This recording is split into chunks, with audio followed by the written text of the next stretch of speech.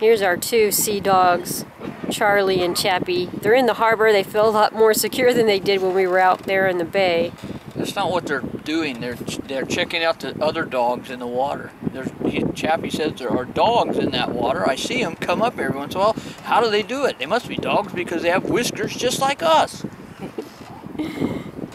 and he's Chappy's showing off. If you notice, he's shivering, but he doesn't want the, the dogs in the water to see that. So he's uh, he's playing around. We're gonna come about. Okay, let me turn this off. Adios.